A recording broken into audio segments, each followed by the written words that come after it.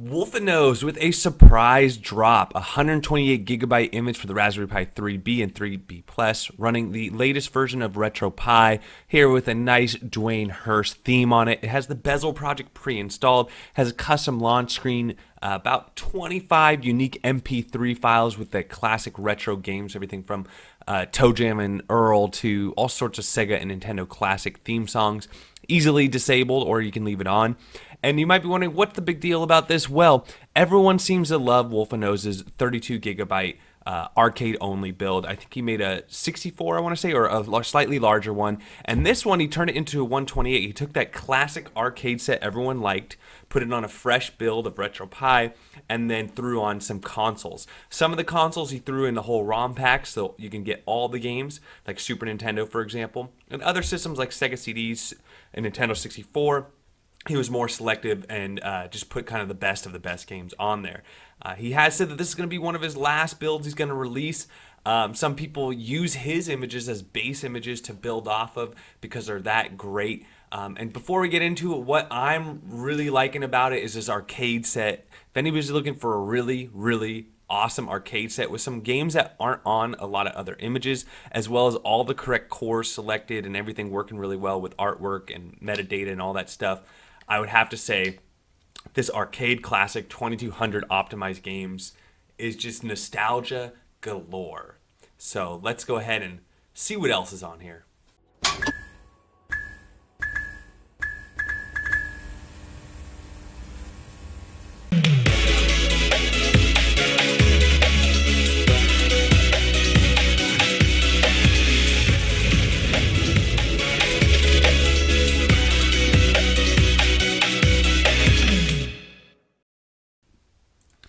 So a couple things when we jump in here. First thing to notice, it has over 800, 8800 game titles on here.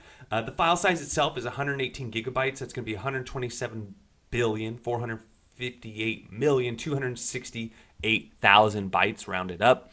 And uh, you're going to see a bunch of collections here on the left. Um, that's because it is an arcade image, so there's some collections like SNK Classic, Sonic games, Street Fighter games, and as you know, there's a bunch of different Street Fighter games. Um, this font is a little big, but something I do like about this theme is that it has that kind of high score arcade uh, font. So I think it's really cool. But as you see there, with some longer games, you will have to it will have to scroll the um, game. Um, as you see, it is uh, pictures and then video snaps. And then, as I mentioned, there are loading screens as well as the bezel project is installed. So you'll get specific bezels for the actual games you're playing. Um, what I was saying though is that there are a lot of collections here to the left when you first start out and you boot up the image. So let's go ahead and start to the right over here. You should start around all games favorites or last played. And then what comes first is that arcade set that I was telling you about and how awesome it is. You can easily hit select, which you're probably going to need to just because there's so many games on this image. Uh, but with a hit of select, we could start from the beginning here. And you can just see as I scroll um, it would take me a really long time to see every single game, but look at all the artwork. And you're probably going to notice games you've never noticed before. This is not filled with filler. This is not some arcade dump. This is like hand selected, a lot the great of the great games. If you ever downloaded a, a Raspberry Pi image or RetroPie image, you're like, hey, it didn't have this game on it. You know, I would have to say that this is one of those images where you're more than likely going to find it. Um, we're going to see this also have Daphne installed. Dreamcast, you have one game, but the emulator's all set up for you. Um, it has all the options for you EasyHacks Toolkit, Bezel Project, um, you know, all the add ons you're going to want as far as background music scripts, theme scripts, all that good stuff. Um, I don't want to spend all my time in here, but I do want to give you a good idea of what's in here. So I'm just going to kind of scroll down uh, as we go. And uh, while I'm scrolling down, talk a little bit about how you know some people have tried to copy Wolfanoz's base images and build off of them, kind of taking his work and uh, you know calling it their own. Uh, you know, slapping a fresh build of RetroPie on it, just updating it and saying, "Oh yeah, this is new." Uh, so do not be fooled. Um, I think this 128, and to his point, will be one of the. Um, he said it will be his last. I've heard that before not from him, but from other people. And uh, but he, to his point, he was mentioning um, how not until the Raspberry Pi 4 comes out or something much uh, more powerful that you know at that point he can think about you know adding you know uh, Dreamcast potentially or or more or I'm sorry uh, GameCube or even more Dreamcast or Nintendo 64 stuff like that. So as you can see, it's 2,200 games. You're gonna see I, I play a little GI Joe later. Really cool game. Haven't spent a lot of time on it, and just that I wanted to keep playing, but I also need to finish this video, so I was like. uh, doing that. In case you're wondering how you know I make these videos, I typically like to play around with the image a little bit before, you know, rather than just you know going or going straight into the, you know, oh these are the games and that's it. This is the RetroPie build. You know, I do tinker with it.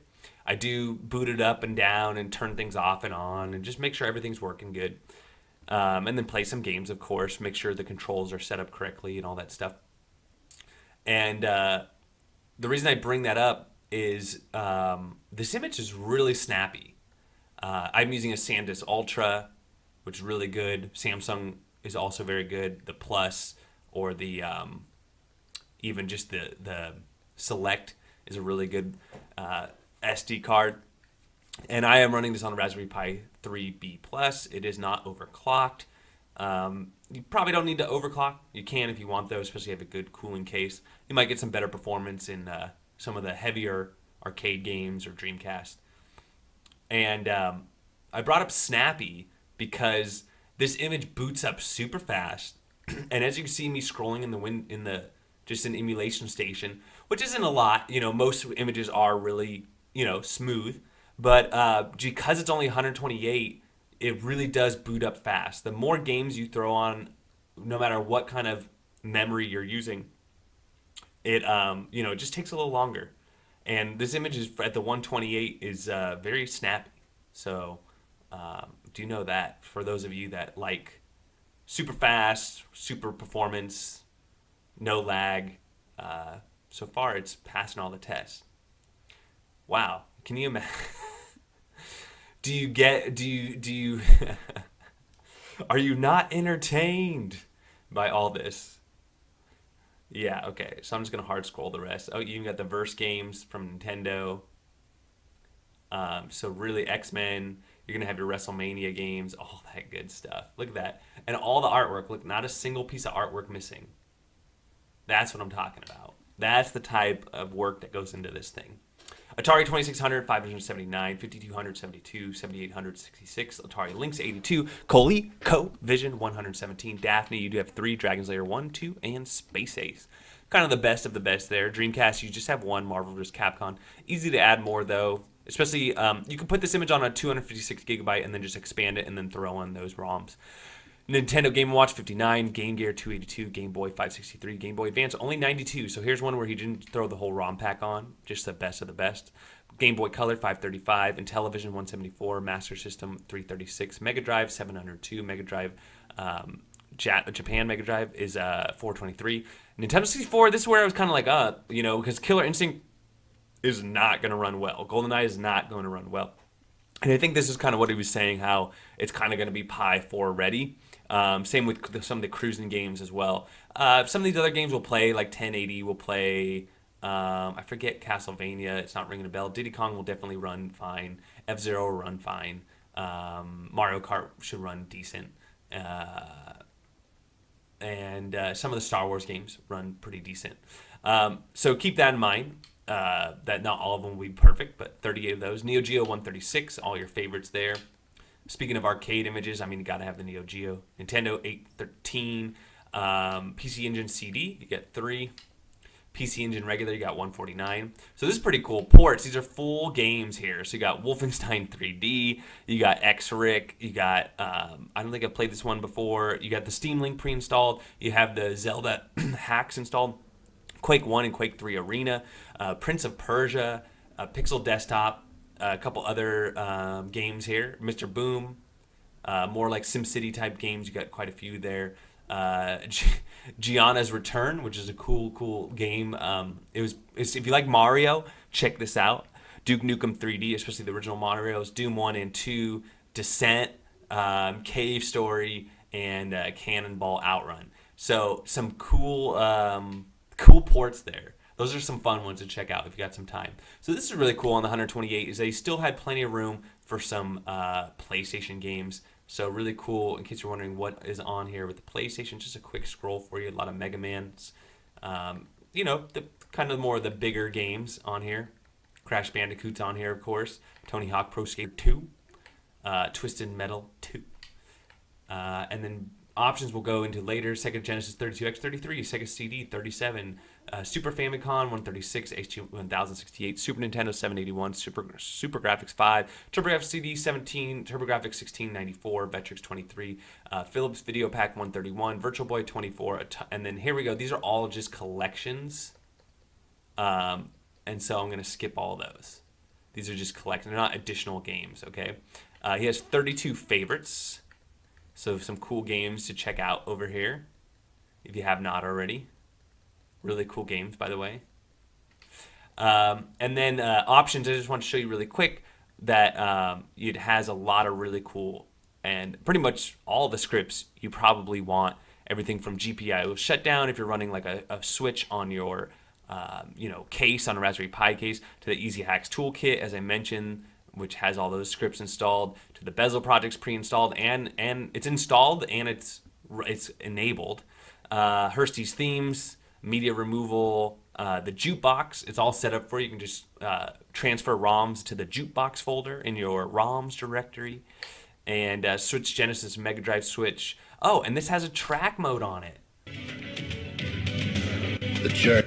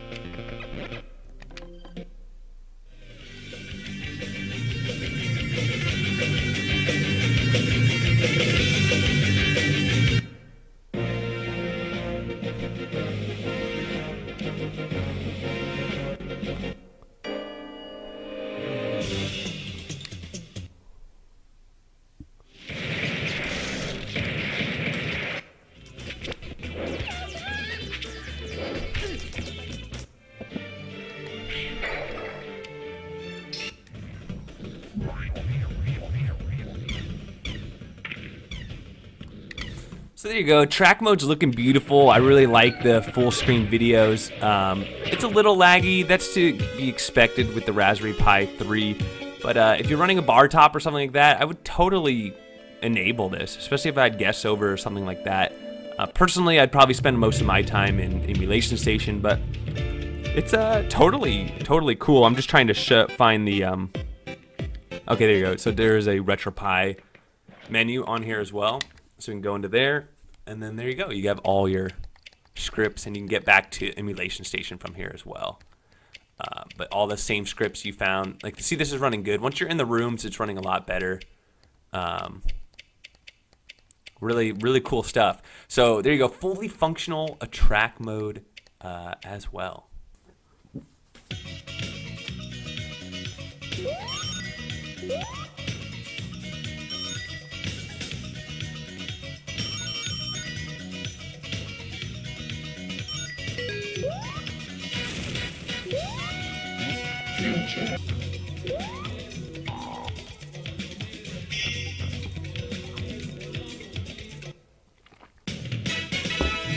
Making it through.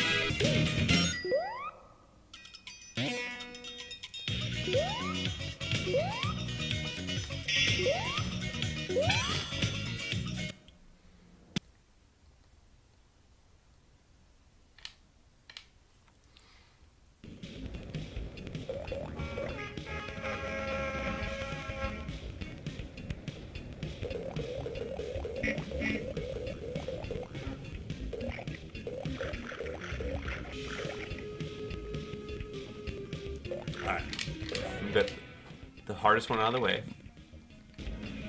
Let's get the second hardest one out of the way.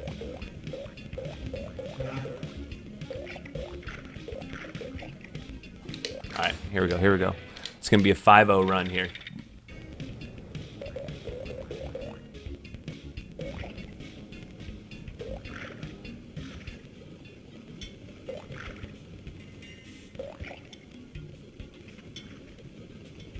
All right, here we go. Here we go. Here we go.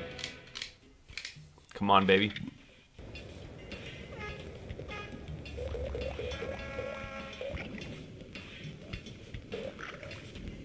What?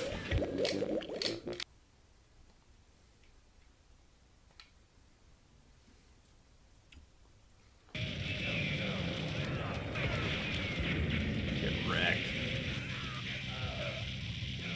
Uh oh, orange suits. Gotta watch out for the orange suits. This is a game where it'd help if you had a um, turbo button.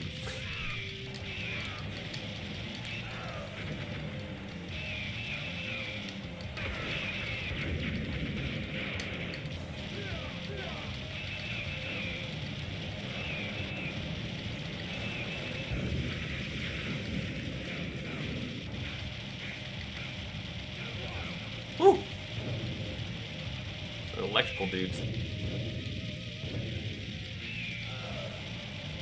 Woo! What? Dang, this is getting pretty hard.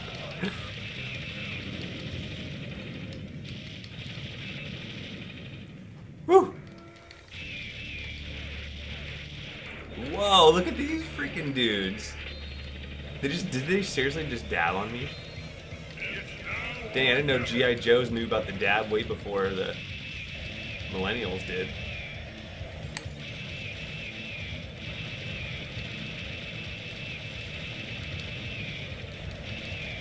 Ooh!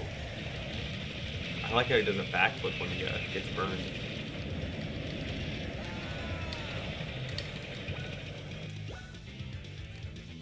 Be a different player.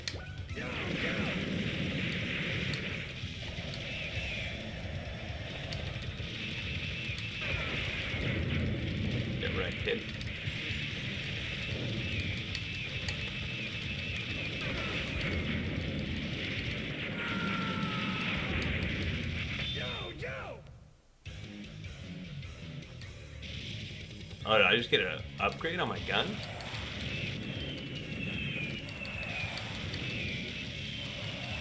I highly recommend this game. Highly, highly recommend. Start select out. Final thoughts, final grade. Definitely gonna get have to give this one an A plus. I've actually been waiting for a 128 gigabyte image because we haven't had a lot recently. Everyone's been going for the 256s. So for somebody who has a 128 lying around, for those of you around here that are just you know every dollar counts, it's really nice to see that 128 uh, image you know getting a little bit of love, especially because it kind of it was the the growth or the starting point to some of these larger images. Um, but as I mentioned, Wolfanoz goes above and beyond. There's a few image image creators, and I'm, since this is Wolfanoz's review, I'm going to focus on him that really go above and beyond. He's definitely one of them. He definitely cares uh, about the community. He takes his time. He, you know, you don't see a lot of his releases all the time because that's exactly the point. Is he spends a lot of time testing, um, looking around, asking questions, um, you know, trying different cores and you know all sorts of different setups and when he updates something he checks everything else. Uh, if he messes up he's really quick to typically start over versus some other people might try to find a quick fit fix for it.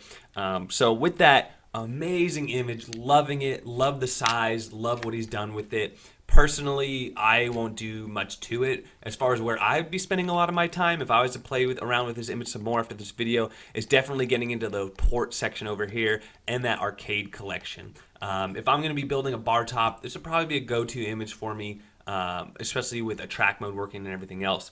As far as Wolfanoz, and everyone's like, make a 64 or do a 256. Um, he's got some smaller arcade sets out there for the Raspberry Pi, and then if you're interested, he has a couple images out there for the Odroid. And I would say all those images are really great contenders even today. So in case you're wondering, he has already done a lot of that stuff, so they are out in the wild. I've probably done a video about them and you know they're out with their in the with the typical uh, people that um, typically do retro gaming. Um, so with all that said, uh, A plus work, really awesome to see. Shout out to Wolfanoz for another really really great project. And uh, I can't wait till we have a Raspberry Pi 4 and a new image. Uh, but for the meantime, I know I'll be enjoying uh, this one. But um, that's what I think. Let me know what y'all think. Don't forget to like and subscribe, and we'll catch you on the next one.